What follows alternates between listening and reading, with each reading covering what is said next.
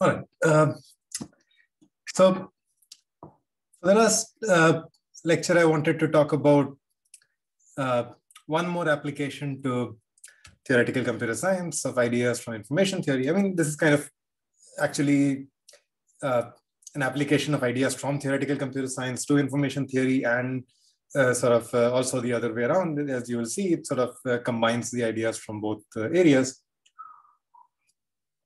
And the basic result is uh, kind of relatively simple to state. So for example, for the binary symmetric channel, we saw there's kind of an explicit capacity achieving uh, construction of codes, which is uh, polar codes. Um, and uh, so it's still been an open question for quite some time about various classical code families like Reed-Solomon and Reed-Muller, how they behave. Um, and in particular, uh, how good uh, can Reed-Muller codes be for random noise. And uh, previous results were known in kind of some sort of very extreme or special cases when uh, the uh, kind of uh, rate of the code was sort of very, very close to zero or very, very close to one. So the noise was extremely small. Or, but this paper from 2016 sort of uh, basically resolved this question for all uh, rates and um, uh, all kinds of error probabilities for the binary erasure channel. And moreover, it introduced a new technique uh, for proving that sort of certain code families can achieve capacity or are good for certain kinds of errors using sort of just some relatively weak information about the code, in particular, some sort of symmetry properties of the code. And we'll see what kind of properties we need here. Okay. Uh, we'll be discussing the binary erasure channel, just to remind you. It's a channel which can, with probability 1 minus p, transmits 0 or 1 of, uh, correctly, and with probability p, transmits uh, an error symbol using star, we used this kind of bot symbol earlier. Basically something which says uh, that, okay, this bit got deleted, uh, oops. So, uh, and the goal is of course to try and recover the code word that was sent or the message that was sent. Um, uh, I mean, even given these kind of erasures and how do we design codes like this? Just a recap, uh, we computed the capacity of the binary erasure channel. Anyone remember how much that was? Um, if with probability p we have erasures or the bits get uh, lost?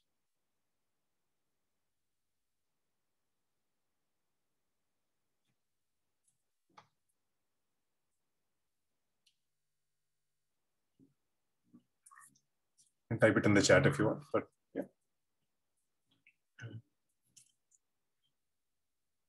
Okay, while maybe someone is looking up the capacity, but um, let me also say that we can think of this in another way. So uh, for every transmission, we generate a random zi, which is completely independent of x, uh, which is one with uh, probability p and zero with probability one minus p. And if the zi comes up one, basically that means we delete uh, the bit or there is an erasure. We don't send x and yi is just star. And if zi comes up zero, then we send uh, yi equals xi. So just like uh, in the binary symmetric channel, we thought of sort of uh, using zi to uh, or like XORing zi with the bits of x. And so zi can be thought of as independent of x then. It's just the combination gives us y. Similarly, here we can think of zi's as uh, independent of x. Instead of XORing, we are going to use it to mask some of the bits of x and just kind of uh, erase them and replace them by star. Uh, the capacity of the channel is 1 minus 2. And so what we will show is that um, uh, you can get Reed-Muller codes with um, uh, rates as large as 1 minus p, uh, which um, will thus be capacity achieving for this particular channel. Okay a recap on Reed-Muller codes. Uh, so, I mean, we won't be using the kind of the exact nature of the code, just a couple of properties of it. But uh, let me now also kind of introduce the full code. As I mentioned when we were talking about Reed-Muller codes earlier, that what we are discussing is a subcode. And the full code is actually just defined like Reed-Solomon. So uh, it's the evaluation of uh, a polynomial on various input points. Uh, we will take the uh, evaluation points um, to be everything. So let's say the polynomial is in m variables um, over f2. So we will evaluate it for all possible settings of these m variables. And instead of sort of looking at this description that we saw earlier for local decoding, where this polynomial comes from some set h, we're just going to look at all polynomials. So any polynomial m variables where the total degree of any monomial is at most d, we are just going to consider its evaluation and the set of all such evaluations forms uh, the code, okay? just like Reed-Solomon. And there we were looking at a polynomial one variable, now we have m variables, nothing else really changed. And okay. Now, just a bit of uh, sanity check. What is the block length of this code? How long is every code word? Block length is just the length of uh, a single code word.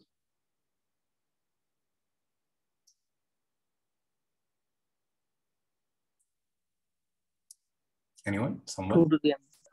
2 to the m. Uh, so each code word is kind of one polynomial written down at all evaluation points. There are 2 to the m evaluation points. Uh, what is the dimension or another way of asking is how many polynomials um, or uh, yeah, what is the dimension of the space of polynomials of total degree d?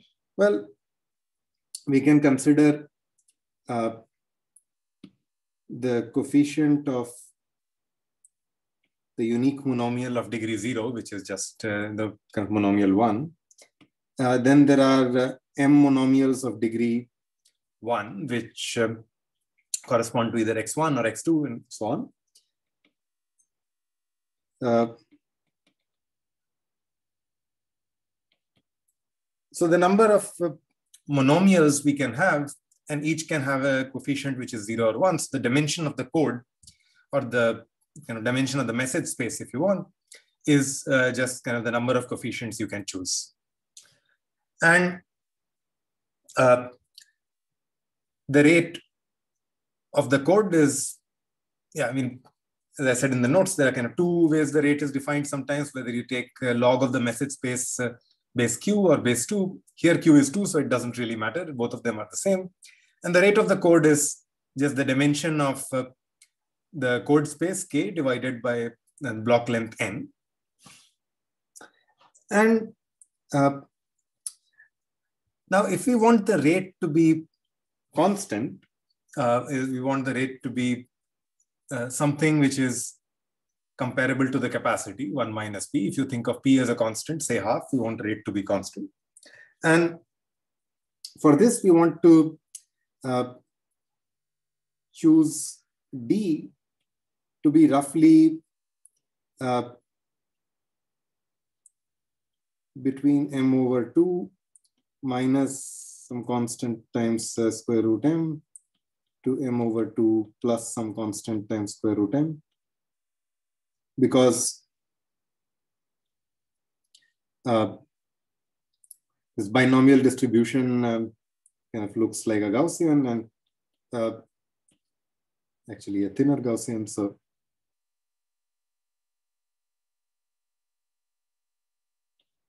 and most of the action is in an interval of root m around m over 2 or most of the probability mass is there. So we want the number of monomials to be at, uh, at least half of um, uh, 2 to the m. And so we want the degree to be large enough that, um, uh, I mean, yeah, if we take it beyond that, then the sort of uh, the rate will basically become one or sort of very, very close to one which is okay. But uh, uh, so if, if, the capacity of the channel is smaller than one, then this kind of code might not be so useful. So for any kind of constant rate, we will have to think of d within somewhere around m over 2. Uh, just and yeah, we don't really need this. Uh, we just kind of are going to remember that there is some setting of the degree d so that the rate is constant. We don't really know, need to know exactly what it is. And the distance, uh, if you remember the polynomial identity lemma, you can check that it was um, about n over 2 to the d uh, for this setup, which will be uh, 2 to the m over uh, 2 to the d. d is about 2 to the, uh, d is about m over 2. So this will be roughly, or we should roughly think of it as square root m. That is to say that the distance is actually much, much smaller than the number of bits that get corrupted.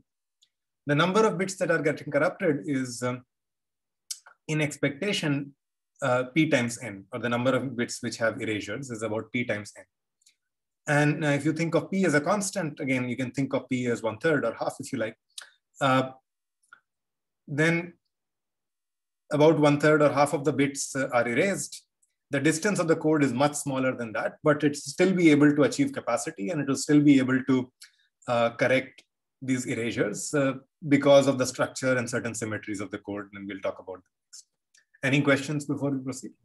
Can I ask a question? I thought like last time you you, you mentioned Reed Muller code, the dimension is a bit different, right? Like yeah, um, so that's why. So last time, what I mentioned, I kind of said that this is a subcode of Reed Muller code, or I'm using a slightly different definition where the dimension basically corresponded to some k to the m, where k was some small set that I took inside it, um, uh, and uh, I said that we can look at the full Reed Muller code, but the dimension computation is a little more complicated, and we can't do local decoding if we refine it that way. So this is the full Reed Muller code. The dimension computation is a bit more involved in terms of this summation. So okay, instead of saying that a message is kind of values on h, uh, sort of h to the m, I'm just saying a message is any list of coefficients, and that gives me a polynomial. I just evaluate the polynomial at all points. Okay, okay got it. Right. Any other questions? All right, so you don't exactly need to remember all these parameters. This is just sort of uh, to say what the code is. All we will need to remember is its kind of evaluation of all polynomials of degree at most d at all, all 2 to the m points. And because of this nature of it, it um, and there are certain choices for d such that the rate can be tuned to become whatever constant you want. Uh, because of this kind of definition, it will uh, have certain symmetry properties and we'll just actually very quickly just transition to those symmetry properties and not bother about exactly what the code was. Okay. So, uh, and the technique in this paper is general enough. It sort of uh, shows that as long as you have a code with uh, these kind of symmetry properties, it, it achieves um, capacity or it, it, behaves very nicely for binary erasure channel. Uh, and we'll see how to take advantage of these symmetries. Uh, the kind of two properties we will use for Reed Muller code is that they are linear, which we have already discussed, and um, uh, sort of, just like Reed Solomon, and we also discussed um, sort of other versions of Reed uh, Muller, and just because kind of coefficients to evaluations is a linear map. Okay. And the interesting and new property which we will discuss, or uh, which we will use, is the fact that they are what um, is called doubly transitive. So uh, Mm. And we'll prove this, but before going there, let's just define what uh, we'll call transitive. So, uh, so forget about Reed Muller codes for a second. Just think of a collection of uh, n-bit strings. And we will call this collection transitive if uh, for every string, I just swap, let's say, any two bits of my choice. So I, for every string, I uh, swap the third and the 53rd bit. And the set of strings is the same, it doesn't change. Every string can change. It can happen that the third and 53rd bit in a given string are different. So one is zero, the other is one. All I'm saying is that the overall set of strings doesn't change. So uh, for every swap, uh, there is some other string which is exactly like that. Is the definition okay? uh, here i is equal to j is kind of trivial. So let's assume that i is not equal to j. Uh, so, uh, and I'm not even saying that uh, if I just swap these two bits, actually, yeah, what I want to say is that there is some permutation which in particular swaps these two bits, but might do other stuff. Uh, but there is a way of kind of uh, writing these code words such that in the new list, uh, the third and 53rd bits get swapped. Might be other bits get changed also, that's fine. So, but uh, I can move the third bit to the 53rd position without uh, changing the set of code words. Okay. Any questions about the definition?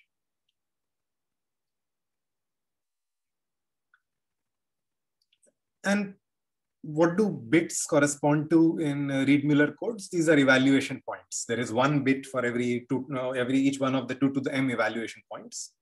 So what I'm going, uh, uh, what I'm looking for is how do I uh, kind of change the code word or go from one code word to another code word such that, let's say, hmm, the bit corresponding to U1 and U2 get swapped. So uh, uh, U1 gets mapped to U2 and U2 gets mapped to U1, let's see.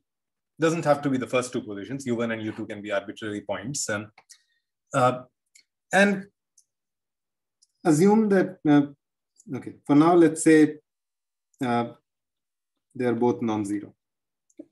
Any suggestions on uh, so what I want to say is that there is another code word in which these two positions are split. So there is some other polynomial.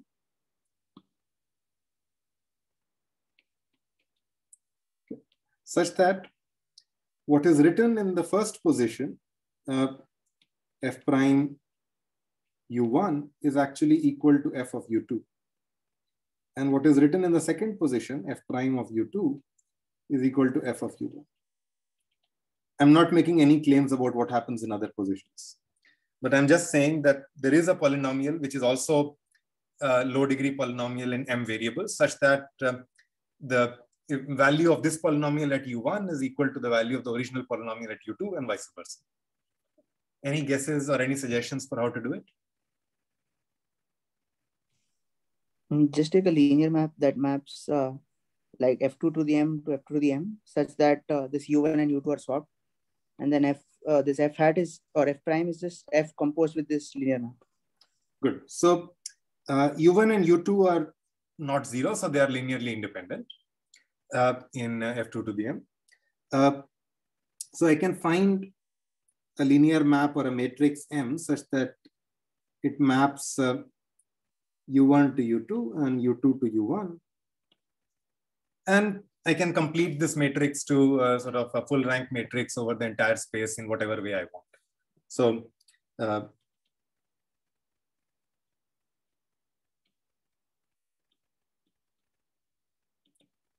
But if I want to design a linear map, I can sort of make it do whatever I want on a basis. And I can, because U1 and U2 are linearly independent, I can find a basis containing these two.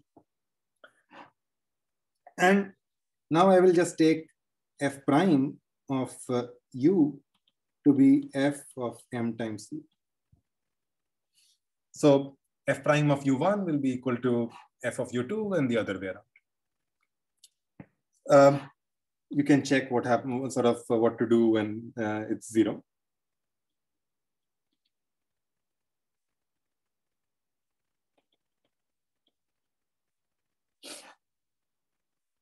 yeah the hint is that you can take an affine map. So, but we don't uh, need to worry about it uh, for now. And now it's called doubly transitive. If I can kind of uh, find a permutation which swaps, let's say two positions J1, J2, while keeping a third position I fixed. So now uh, I want to still swap two positions, but also there is a special one which I don't want to change at all in pi. And the proof is almost the same uh, as before. So what I want is, um, uh, let's say, I want to keep U1 fixed. Uh, I want to swap U2 with um, U3. And I want to swap um, U3 with U2. And the way to do this is more or less the same as before. Um, let's again assume that all three of them are different. Um, and I can find a linear map M, which um, uh, maps U3 minus U1 to U2 minus U1 and maps U2 minus U1 to U3 minus U1. And I'll define kind of a more general linear map L or affine linear map L, uh, which will be L of U will be M times U plus U1. So it will be an affine map. Okay. And now we can check what happens. So uh, L of U1 will be M times, uh, no, sorry, I should have said what I mean by M times. Uh, no, sorry.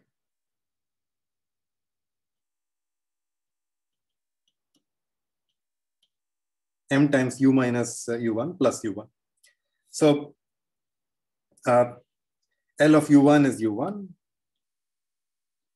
L of U2 is um, uh, M times U2 minus U1 plus U1, which is equal to U3 minus U1 plus U1, which is U3. And similarly for U2. And I take my F prime to be, uh, so F prime of U uh, to be F of L of U.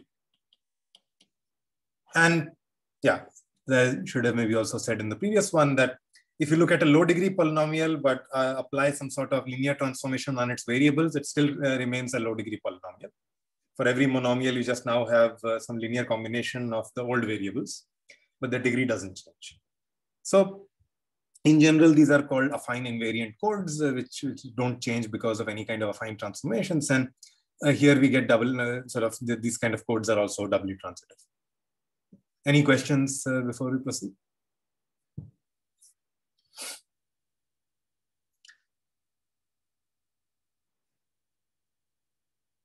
Okay, just to say, I mean, yeah, we won't necessarily need this kind of exact uh, proof uh, for the rest of the uh, lecture, but it's kind of uh, good to know why they're doubly transitive. But we'll just need this sort of position that um, basically J2 and J3 or J1 and J2 are equivalent uh, kind of given I. So we can fix I and uh, the positions J2 and J1 as we go over the entire code are sort of interchangeable.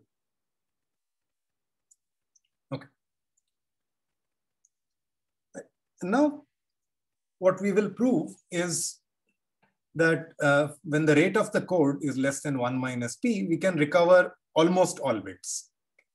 Strictly speaking, we need to recover all bits, and uh, I'll say what needs to change in the proof to do that, but uh, I'll prove that we might will be able to recover 1 minus little o of one fraction of all bits, um, or the fraction of bits which we will not be able to recover will go to 0. Okay. Uh,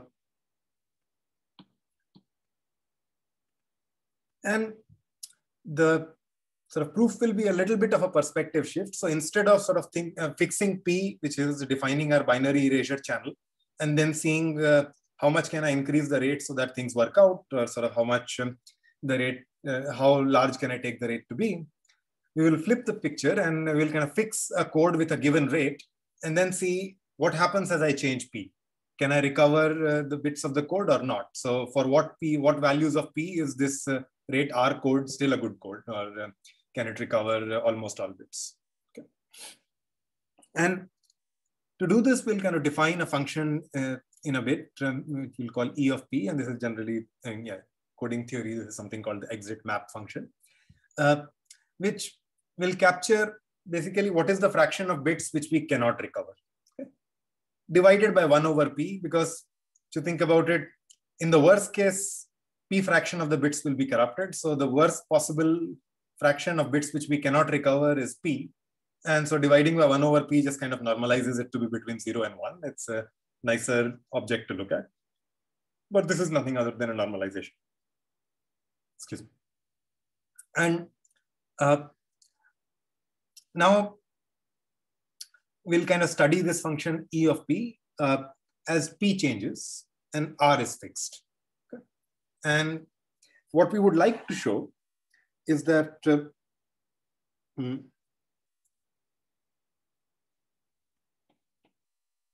if E of P uh, goes to zero for all P less than one minus R, right? So as I said, we are kind of actually thinking of changing P, fixing R. So for all P, which is uh, less than one minus R, we would like to show that um, this is the kind of channels for which we hope uh, rate R codes would be good. And we want to say that um, uh, if you look at a Reed-Muller code with rate R, um, E of P will go to zero uh, for all P, which is uh, uh, below one minus R. Any questions about the goal or what we would like to show? So, so the thing that you wrote is like a typo, right? It's like divided by one by p, so it's into p, or is it? Sorry? So, so then the definition, Uh-huh. is it into one by p or divided by one by p? No, it's times 1 by p or divided by p. Uh, so the worst possible fraction of bits which we cannot recover otherwise will be p because p bits will be corrupted. p fraction of the bits will be corrupted, right? Um, or like p fraction of bits will have erasures in uh, uh, a channel otherwise. And I want to normalize it to be between uh, 0 and 1. So I want this function e of p to take values between 0 and 1 rather than between 0 and p. So the maximum value otherwise would have been p. Now I'm actually changing it so the maximum value becomes 1. Okay. Make sense? Yeah. Okay. So, I mean, it's just saying out of the sort of, it's just uh, dividing uh, the fraction of bits which we cannot recover uh, divided by the fraction of bits which actually get corrupted. Right? And the fraction of bits which actually gets corrupted is p. Out of them, how many can, can we not recover? Make sense? It's uh, Yeah. okay.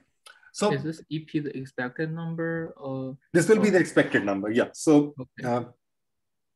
Yeah, we'll define it precisely in a minute, but this will be the expected fraction of bits that we cannot recover. Uh, the expectation will be uh, both over choosing a random code word and uh, choosing a random uh, uh, sequence of erasures. Okay.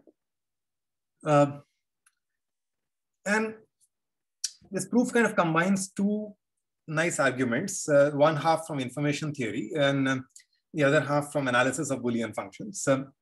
And I'll kind of go over the proof of the first part in more detail. I'll sort of sketch the part about Boolean analysis. Um, but there is an information theoretic argument which says that what we want to show is that E of P is kind of is zero for uh, P which is below one minus R. And the information theoretic argument says that I don't quite know what the curve looks like or what the sort of curve of this function E of P looks like as P changes. But I know the area under the curve and the area under the curve is uh, exactly equal to the rate of the cold, or uh, K over N or R, whichever you. There is a separate set of techniques from Boolean analysis which says that uh, I don't know what sort of, uh, uh, I know that the shape of this function will be like a step function. Okay, so it will kind of be zero for some time and will jump to one for some time. Though I don't know where this uh, step will happen or sort of where this uh, jump will happen. Okay, it could happen very close to one, very close to zero for all I care. I don't quite know how to place it. And this is actually often a problem, like a lot of problems where we can prove that this sort of step happens, where we'd like to argue about it, but in, not in all of them can we actually locate uh, where this step happens. But you put the two of them together, and then you can actually argue very nicely about what happens because you look at this curve, the area, if you know that it's going to be this sort of step function, which uh, changes from zero to the maximum value of one, uh, at some point, I don't know what this point is, let's call it the threshold t, then I know that the area of the curve um,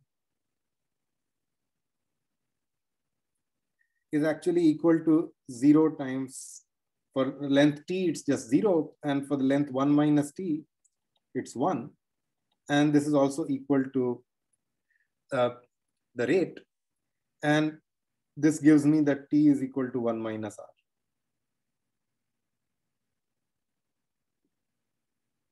So precisely at uh, the probability or p equals 1 minus r, this curve will jump up. In particular, for all p less than 1 minus r, uh, the fraction of bits which we cannot recover will tend to zero. So we will be able to recover almost all bits. So uh, this is the precisely the region and this threshold will be 1 minus r. And I, should emphasize that, yeah, I mean, in Boolean analysis, you can often prove these kind of threshold behaviors, but locating this threshold is quite difficult. And the information theoretic argument, because it gives us the area under the curve, it actually gives us a nice way of locating this threshold. And yeah, it's a simple combination of these two arguments. Although, yeah, each of them is, is not to involve the fact that the combination can be done in general for any kind of doubly transitive code is very nice. Any questions before we proceed?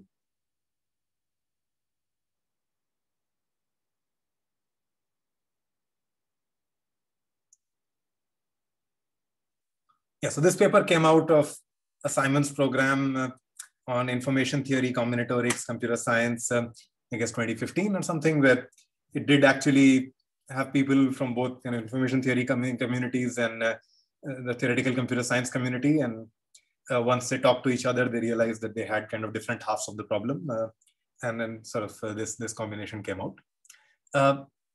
and we'll sketch the second half and maybe go over the first half in more detail. All right. Any questions about what we are going to prove before we proceed? Uh, just, uh, I mean, I'll define this E of P more precisely in a bit, uh, but the structure of the argument is that there is some way to kind of locate the area under the curve, and there is some way to prove the shape of the curve is a, a step function.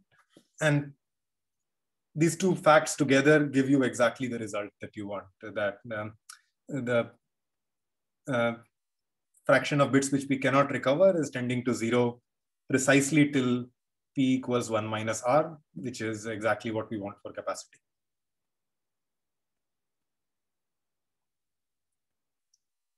Okay. All right, so uh, let's start analyzing this. Uh, uh, yeah, the proof is actually not too complicated, at least the information theory side of it. And the Boolean analysis is not complicated, but uses a couple of lemmas from earlier work. Uh, the sort of uh, key part is just sort of uh, rewriting what is the probability that a bit cannot be recovered um, and uh, that uh, we cannot sort of given uh, what we received given the y we cannot find the ith bit of x okay. and my claim is that this sort of uh, is has kind of a uh, uh, sort of only two kinds of behavior. Either we know exactly what the bit is, or we have no idea what the bit is. And in the entropy of uh, xi is just one given y. And it's always going to be one of these two. So uh, um, I should say this is conditioned on a specific way. So given some uh, sequence of uh, 0, 1 and stars uh, in particular, we can look at the positions where the stars are and um, uh, say what is the chance. Uh, uh, okay. So first of all, if yi uh, is not equal to star, then of course there is nothing to argue about. So uh, h of xi given y equals little y is zero, right? Because if this bit was not erased, we know it, uh, there is nothing to do. Uh, so the only interesting case is when this bit was erased and let's see what happens there. And now, uh, and the initial code word I'm assuming is kind of coming randomly from the entire uh, code space. Uh, so random code word from. And now I claim that uh, let's prove uh, the if part of the statement. So let's say there exists a W with this kind of properties that the ith bit of W is equal to one. Uh, and uh, W is covered by stars, which I should explain what it means. So covered by is sort of all the one bits of W. So if Wj is one, then we must have a star there. So there can be many more stars, but um, no one bit of uh, W is left out. In particular, the ith bit of W also has a star on it. So Yi is equal to star. But also any other J where Wj is one, we have a star. And now I claim we have no idea what the entropy of Xi is because uh, the probability of any code word X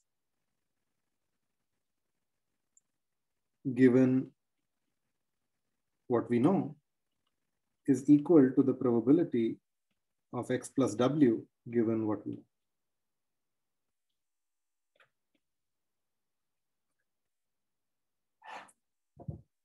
Why is that? Because the bits of W or the ones of W are completely covered by Y the positions which are covered by y are equally likely to be 0 or 1, or we don't know which one. And so in those positions, it's just as likely that uh, I, I, change x by the bits of w versus I don't. It only changes things which are hidden by stars. Okay. So, and in particular, uh, this says that uh, the ith bit is 1 given y is equal to y, or the ith bit is 0 given y is equal to y, is, uh, is half. Because wi is 1, so one of these, either x or x plus w, has the ith bit as 1, the other has 0. And so uh, we get a bijection between um, uh, possible code words with the ith bit 1 versus possible code words with the ith bit 0. Okay, any questions uh, about this part?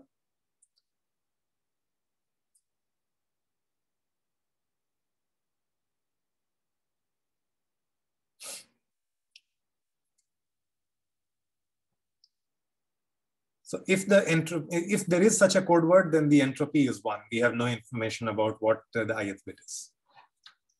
And Conversely, if the entropy is not uh, sort of, if the entropy is not zero, so if then uh, there exists two code words um, uh, uh, W1, or let's say W and W prime.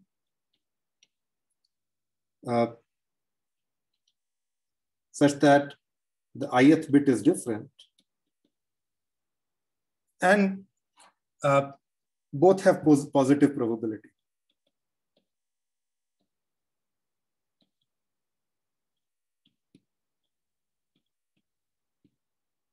Given y. So uh, otherwise, if there was only one code, code word which had positive probability, or at least all code words which had positive probability given y, if they all agreed in the ith bit, then we would know the ith bit and the entropy would be zero. So the reason it's non-zero is that there is some uncertainty. And so there is at least two code words uh, which have this property. But if that's true, uh, these are both code words, by the way, because we know we sent a code word. Uh, And so we are only going to decode two code words. But then W plus W prime is a code word. And uh,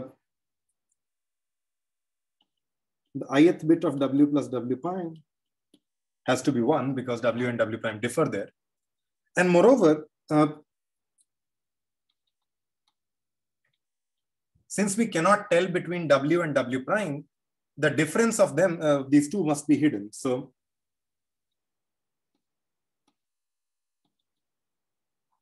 if not, we would be able to at least uh, uh, sort of uh, say which is the case, whether we have W or W prime. So the positions in which they differ, we have we don't quite know. Otherwise, we would be able to at least find one position in which they differ and observe it and know that we don't have W or we don't have W prime. Okay. So this sort of is an if and only if, and we get that the entropy of xi given y is either one or zero. Uh, and so this kind of has a nicer consequence in terms of how we write the probability that we cannot recover a certain bit. So the probability that we cannot recover the ith bit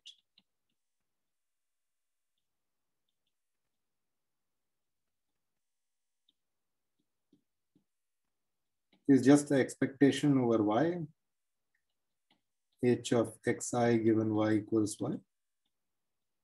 Uh, or h of xi given Y.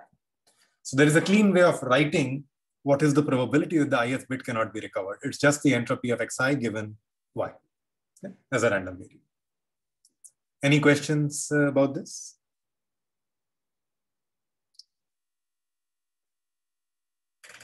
So this is the kind of starting of the information theoretic uh, uh, argument. The first thing we do is rephrase the question or the quantity we are talking about, which is this probability in terms of entropies, and then we go from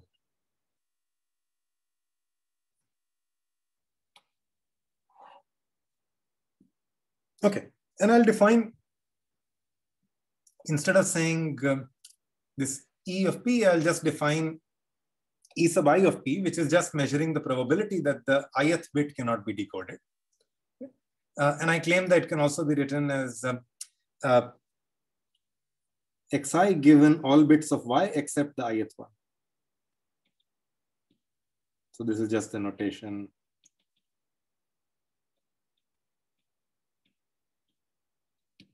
For giving all bits of y except uh, yi.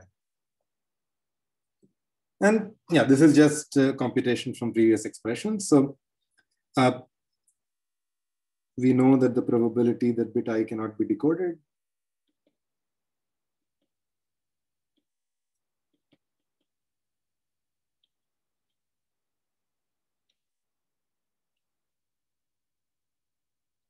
uh, is equal to h of xi given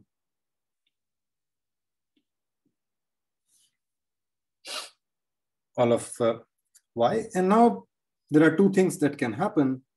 Uh,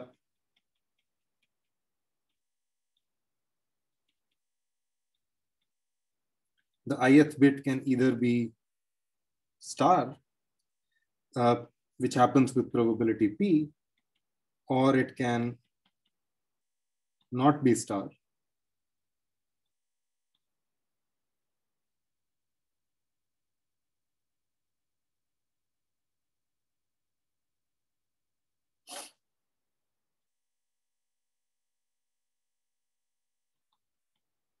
which happens with probability 1 minus p. If it's not star, then the entropy is zero. And so the only thing we are left with uh, is that this is equal to p times the conditioning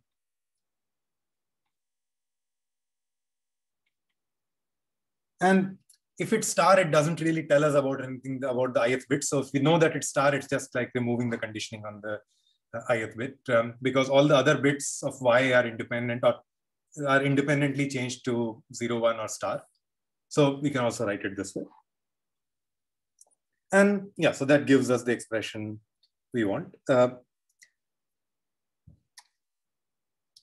we will, the, the function e of p that we will define um, will just be the average of the EIs.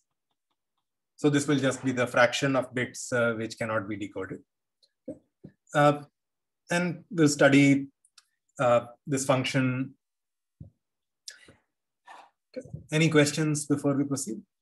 I'll sort of say a little more about slightly different function in a bit.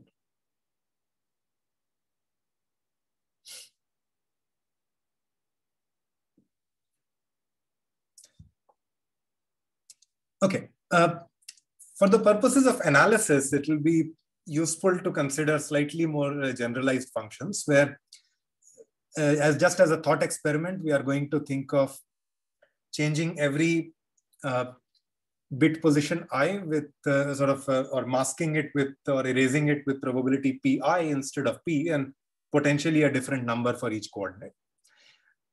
Actually we will never use different numbers for different coordinates. This is just a formal expression so that we will be able to take the derivative with respect to the probability of the first coordinate or second coordinate and so on which will kind of facilitate the integral which we want to compute. Other than that it will not really change anything so uh, what we call EI of P is just uh, now EI when all probabilities are the same. So uh, we just have P, P1, Pn all equal to P. Okay. So, but in sort of in principle, we can look at a vector uh, of these and uh, we'll just define EI of a vector of probabilities P bar as exactly the same expression as before, except this y now uh, is distributed according to p bar. So uh, every in every position, in the ith position, x is copied with probability 1 minus pi and erased with probability pi. And potentially this can be different. Any questions uh, before we proceed? This is just for the analysis. Uh, we're not actually analyzing a more complicated channel. We'll just use this to define one derivative, which is this. And this kind of makes more sense when you have uh, different numbers. Uh, mm. And here this y is defined according to p bar. And so we can take its derivative with respect to any one of these probabilities. Uh, and yeah, see, it's just a kind of slight trick to simplify the computation. So we can write uh, uh, h of x given uh, y p bar as um, uh, h of xi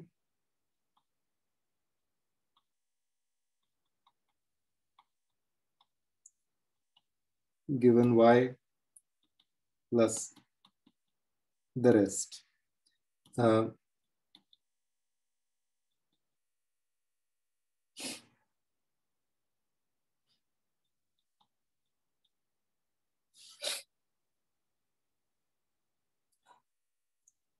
mm.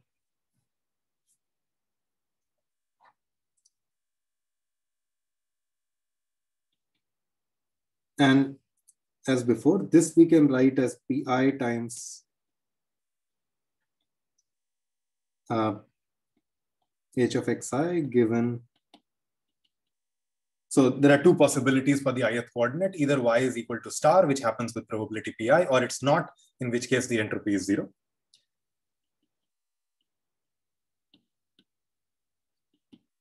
Plus, uh, whatever is here doesn't really uh, change things. So, hmm.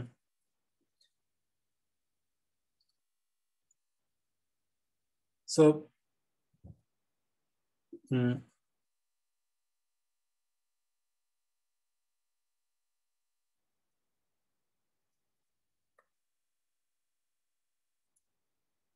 the part here, because we are talking of other positions, uh, uh,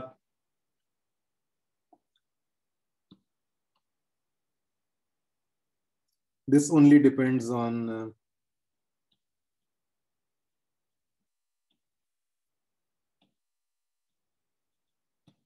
So it depends on all the probabilities except pi. So that just means when we actually look at the derivative, um,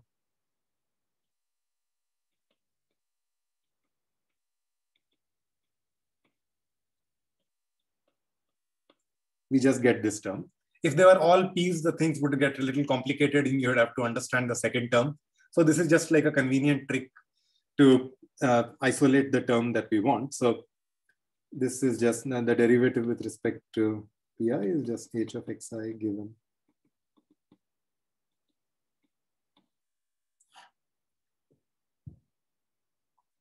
Just as a, yeah, more as a formal expression, but this gives us the way of evaluating the integral we want. So we wanted to understand the area under the curve for this E of P, and we want to prove that it's actually equal to the rate R. Uh, and we can just think of uh, this integral as uh, integrating over this kind of vector valued variable p bar, but when the vector is actually just going across on the curve where all coordinates are equal. So uh, we are just moving along the curve or the, along the line where all coordinates are equal to t and t is going from zero to one. Okay. And, but if we write it this way, uh, um, we can write it as, um, you can take the one over n outside.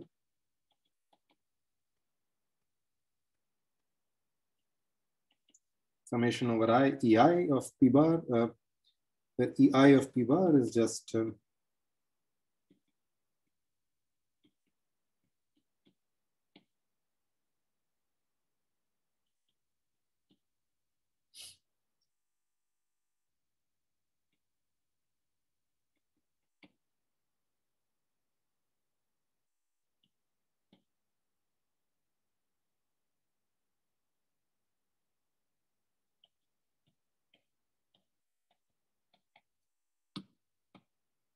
I'm just using the fact that this is just one, so I can introduce this term. Pi of t is just t. It's just going from zero to one. And so I can just write this as, I'm just integrating along this curve. So I can write this as integral, sort of just evaluated the limits. And um, at the limit, I'm looking at h of um, x uh, given y uh,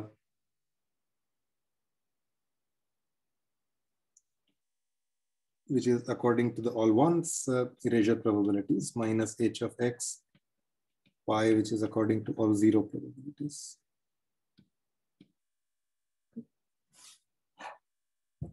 And these two quantities I know how to evaluate. So if the erasure probability was one for every position, so everything got erased, then what is the entropy of x given y?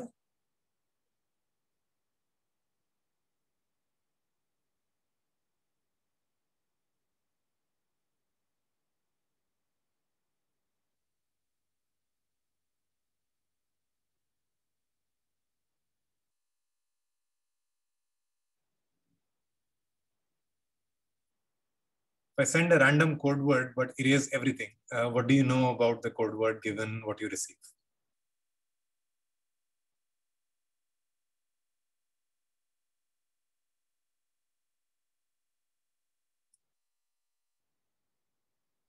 Zero, right? Well, the entropy is not zero. The information we have is zero if we erase everything. So, uh, the, so one is the erasure probability. Uh, I guess what you are answering is for this part where we transmit everything faithfully, then the entropy is zero. But in the first term, in the binary symmetric channel or binary erasure channel with probability p, we erase with probability p and send with probability 1 minus p. So when p is 1, we erase everything. And so the entropy of what was sent, given what was received, is everything because you have no information and it's just uh, based on what you received, you can't tell anything about it. So this is just um, h of x, uh, which is uh, k because the dimension of the code was k. So the, the number of code words was 2 to the k. Uh, and here we erased with probability uh, zero. So we actually sent everything. And so if you receive the string sort of uh, completely accurately, then given what you received, the sort of entropy of, of what was sent is zero. You exactly know what was received. So conditioned on what you received, there is no entropy left. So this is zero. And so we get the integral, which is k over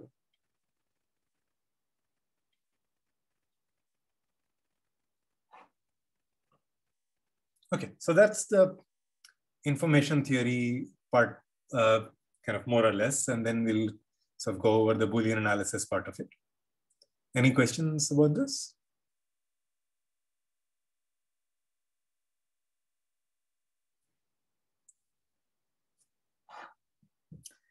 Uh, one additional observation which will be useful in analyzing it is that all the EIs are actually equal.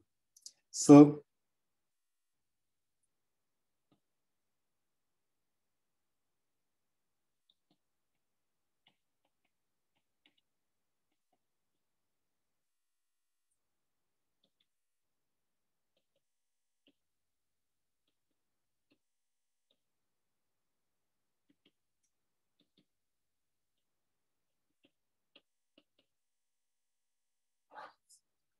Okay, so this is something to check as an exercise. Um, but basically the code is such that uh, the bit in the ith position can be like uh, bits in ith position can be moved to any jth position if you want. Um, and the set of code words remains the same. So if I send uh, a random code word, the statistics of the ith position are the same as the statistics of the jth position. And uh, in relation to that, uh, uh, and, the erasures are kind of uh, the same for all positions. So you can use this to prove that the probability that the ith bit cannot be recovered is just some condition that there exists a code word, uh, like what's the probability that the erasures is such that there exists a code word, one in the ith position, etc. But you can show that that probability is exactly the same as there exists a code word, which is one in the jth position, uh, uh and it's covered by erasures because the ith position and jth position are the same as long as you go over the entire code. Okay, so so for the rest of it, so the nice thing is EI uh, is a slightly easier function to write down if you kind of fix an I, uh, but we don't really lose anything uh, because of this property. It's just um, uh, the probabilities are the same for all different coordinates. Okay, and now let's write down this EI more explicitly. Uh, mm, so, as I said, uh,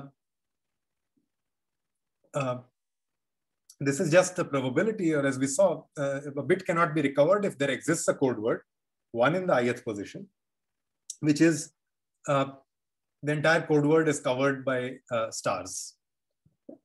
So let's just write down what happens in the other positions. Okay. And let's just, uh, instead of thinking of stars, let's just think of zeros and ones. And when there is a one, uh, that's just the same as saying we can get a star in that position. Okay. But now we want to think of functions over zero one. So it's just slightly cleaner to write, I think in terms of these z's. Uh, and we are saying uh, what is the patterns of stars you can have which cover some code word? Uh, or what is the probability that the pattern of stars is such that they cover at least some code word which is one in the ith position? So let's just define the set omega i which is just the set of all star patterns or all the set of all one patterns for z that will kind of render the ith bit sort of uh, unrecoverable. Uh, so we won't be able to. Uh, so these are just whatever patterns of star uh, cover up some code word um, And in terms of zero ones, I can use this notation of less than equal to, which just means that um, bitwise, um, if I look at bits of uh, uh, W, then it has to be less than equal to the corresponding bit of uh, ZJ. So this is just another way of saying that if WJ has a one, then uh, ZJ must be one. So it must cover the code word. And the probability that bit i cannot be covered is just, um, uh, of course, I should get a star in the ith position. That's sort of essential. So I'll just write that separately. And the rest of the positions uh, must correspond to some z in this set omega i. So I can write this as uh, probability that I sample z, which is this pattern of stars or pattern of ones now, um, according to the Bernoulli distribution, so that every position is hidden with probability p. And the z is in this set omega i.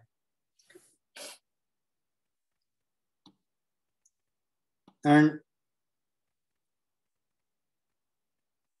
recall this probability that ith bit cannot be recovered divided by a little p was precisely this ei of p. So this is exactly an expression for ei of p.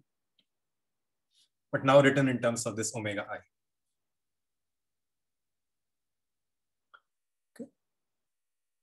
Any questions uh, this? We're just kind of writing out what are all the bad events that can happen, which will cause the ith bit unrecoverable. We had a characterization of all these bad events that um, your stars cover some code word with one in the ith position. So we just form the set of all uh, possible bad positions in which you can put stars, uh, which will render this bit unrecoverable and just call that set omega i.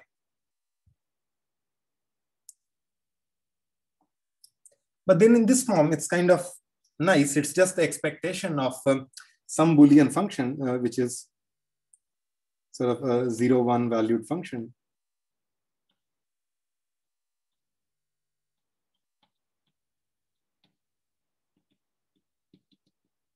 on n minus one bits. It's just the indicator function for the set omega i. It's just checking, checking if this given string of n minus one bits lies inside this set omega i or not.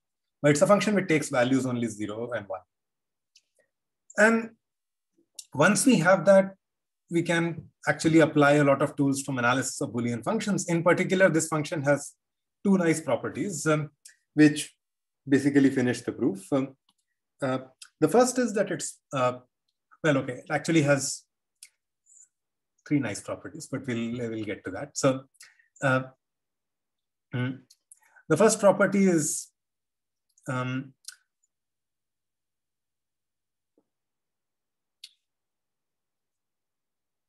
the function is monotone. So if I look at some pattern of stars, which has more stars than z, or sort of the z prime has more ones than z, so it's actually hiding more bits, then it's also bad. So if z was bad, then so is z prime.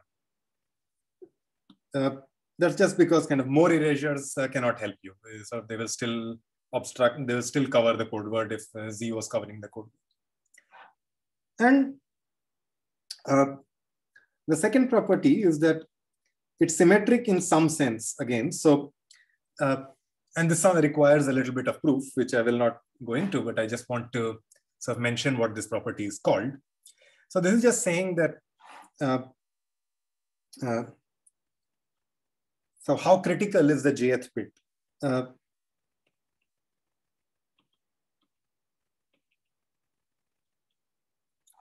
uh, if I change the jth bit, so I just change it from zero to one or one to zero, uh, then do I go in and out of the set omega i or like is the star on the jth location really crucial to kind of causing a problem or not? And this is also known as um, the influence of this function, um, denoted as the influence of the jth bit on this function. And this function is omega i.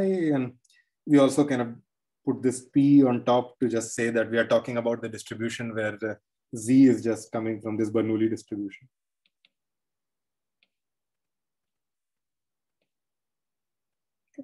And the influences of all bits are equal, and this uses double transitivity.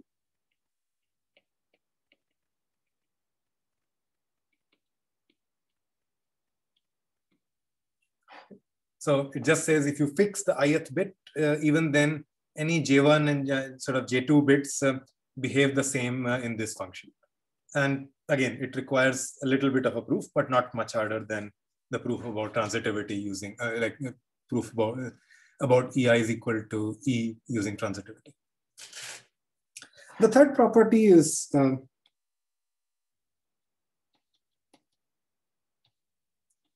EI of 0 is equal to 0 and EI of 1 is equal to uh,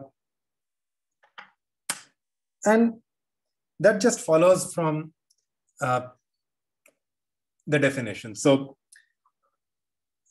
P is equal to 0, then the only string we will ever get is just the all 0 string. All 0 string cannot be a bad string. It's not covering anything.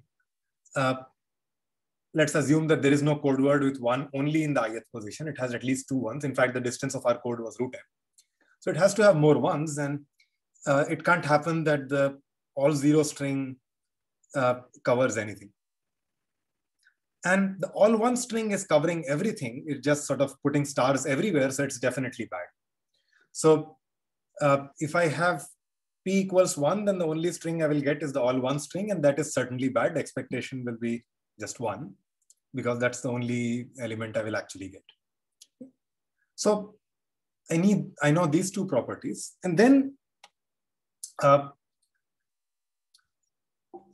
I mean, yeah, these are things I will not sort of go into too much detail about, but uh, there are sort of uh, nice ways of understanding what the derivative of such a function looks like. So there is what's called the Russo-Margulis lemma, which says if you have a monotone function uh, of n bits, I'm just writing n minus one to kind of type match with the previous page, um, then the derivative of this, of how it changes as p changes, is just the sum of the influences of all the coordinates. So just kind of uh, the, probability the jth coordinate, j1th coordinate is critical or j2th coordinate is critical and so on. And then there is a, a classic theorem of Kahn-Kalai in Linial, which says that for any function g, uh, there is at least one coordinate with whose influence is at least log n over n or log of n minus 1 over n times the expectation of the function. Um, uh, so, and because of symmetry, um,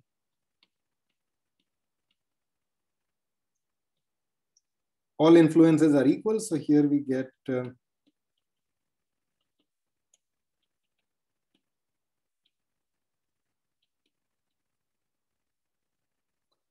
uh, which is log of n minus 1 times the expectation of g 1 minus expectation of g. Uh, g is this, this 1 of omega.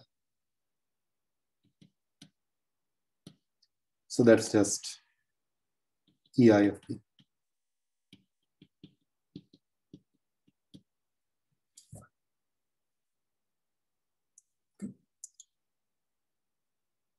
And so we get that the derivative of this EI of P function or E of P, they're all equal, but let's just fix with EI here, uh, is is at least log n. In particular, it's kind of super constant. Um, and that just means that the, so this function is zero at zero, one at one. So it has to increase at some point. But we also know that the moment it goes above epsilon, the derivative or like even a little bit, the derivative becomes log n, which is really, really high. So in a space of about one over log n, in fact, even faster, it actually shoots up all the way to one. Because the moment it becomes even slightly large, the derivative becomes super large. And then the derivative kind of only stops being large when it becomes really close to one. And this is called the threshold behavior of these sort of functions. This happens in general for monotone symmetric functions. Um, this is just a particular example. Okay. Uh, yeah, these things, I won't go into details of these proofs. So this proves that, I mean, any sort of like most bits can be recovered. Uh, if you want to prove that any bits are uh, like no bit is left unrecovered, then you have to use a slightly stronger property of not just that the derivative is positive, but how fast this function grows. And um, uh, this needs additional symmetries plus a theorem of Bourgain and Kalai, which says that the derivative is actually strictly larger than log n or asymptotically bigger than log n. Uh, there is a nice survey by uh, Abbe Shpilka and Ye on lots of recent developments around Reed-Muller codes. In fact, uh, in particular, a lot of open questions also. And there is a nice survey by Kalai.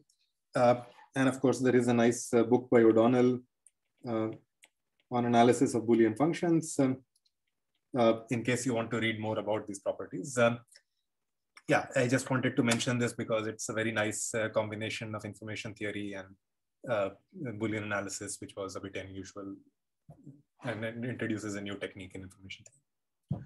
Okay, that's pretty much it for now. And I guess for the course, uh, any questions or comments?